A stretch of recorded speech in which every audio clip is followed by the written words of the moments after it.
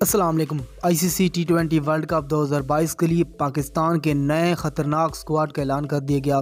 P C B ने कहा कि हम इसलिए ये इंग्लैंड की जो सीरीज़ थी, हमने इसलिए टी ट्वेंटी वर्ल्ड कप का स्क्वाड जल्दी अनाउंस किया क्योंकि आप जानते हैं कि इस सीरीज़ से हमें पता चल सके कि कौन अच्छा है और कौन बुरा, तभी हम टी ट्वेंटी वर्ल्ड कप के लिए जाएँगे।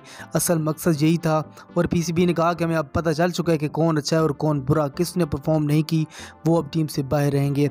टीम से पाँच कचरा खिलाड़ियों को निकालकर पाँच बड़े खिलाड़ी शामिल कर लिए। ICC T twenty world cup 2022 के लिए नया स्क्वाड कौन सा है, ये जानने के लिए वीडियो को लाइक कीजिएगा और चैनल को लाजमी सब्सक्राइब कर दें। नए स्क्वाड में बाबर आज़म नंबर वन पर मौजूद हैं कप्तान रहेंगे। उसके अलावा नंबर दो पर मोहम्मद रजवान रहेंगे। नंबर तीन की बात करते हैं तो नंबर तीन पर यहाँ पर शुएब मलिक, जिसकी वापसी हुई शानदार। उसके अलावा नंबर चार पर बात करें तो नंबर चार पर, Shan Masood is a good player उसके अलावा बात करते हैं नंबर पाँच पर, फ़खर जमान है नंबर पाँच पर। इसके अलावा नंबर छः की बात करें तो नंबर छः पर शर्जील खान की वापसी, शानदार प्लेयर की वापसी आपने कॉमेंट में लाजमी तन के हवाले से। इसके अलावा आसिफ अली की टीम में वापसी है। सॉरी आसिफ अली तो रहेंगी टीम में।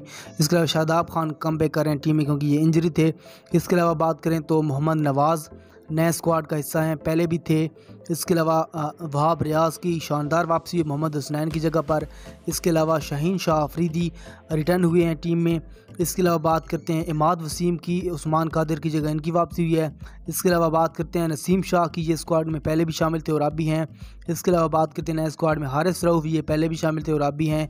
इसके अलावा बात करते हैं मोहम्मद आमिर की तो ये Mohammad Amir is a talent bowler तो इनको भी पाकिस्तान के टी ट्वेंटी वर्ल्ड कप के नए स्क्वाड में हिस्सा बनाने का फैसला और ऐलान कर दिया गया है। कहा कि इनको, इन पर सोच विचार जारी है, इनको भी इस T twenty world cup squad का हिस्सा बनाया जा सकता है। पी सी बी के वाजे से वीडियो को लाइक कीजिएगा।